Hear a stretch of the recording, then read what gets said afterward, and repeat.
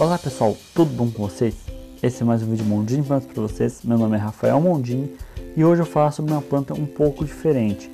É uma planta que é bastante cultivada como ornamental, pode ser cultivada topiada, você pode fazer bonsai dessa planta também, que é bastante procurada, e você pode estar cultivando ela em vaso, como também no jardim. O nome dela popular é Podocarpo ou Podocarpus, pinheiro de Buda e pinheiro de budista. É originária da China e Japão. Os seus frutos são de tamanho pequeno, de coloração vermelha arroxeada e é atrativo de pássaros. Ocorre nas plantas fêmeas, porque essa é uma planta que é fêmea e também macho. É uma planta que no caso de umidade relativamente à água, ela é um lugar que mantém o solo ligeiramente úmido e ela até resiste pequenos períodos de solo seco, mas não tolera encharcamentos. O clima é subtropical e tolera geadas leves. A poda, ela aceita a poda e pode ser topeado para deixá-lo na forma desejada. O cultivo é em solo arenoso rico em matéria orgânica. E se você quiser fazer uma fertilização nessa planta, ela aceita o adubo NPK, uma fórmula 10-10-10 ou 10-5-10.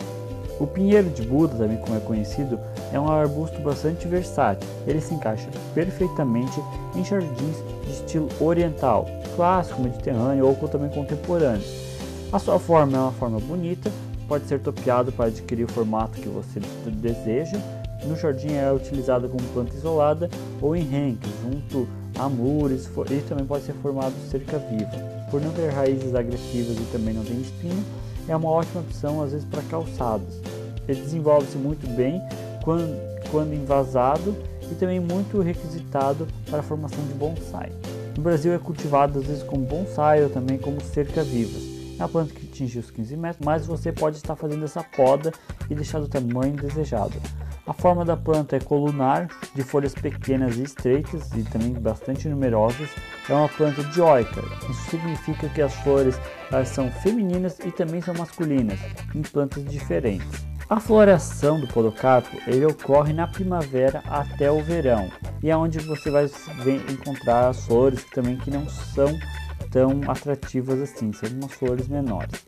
Deve ser cultivado sob sol pleno ou também meia sombra em solo fértil, arenoso, levemente ácido.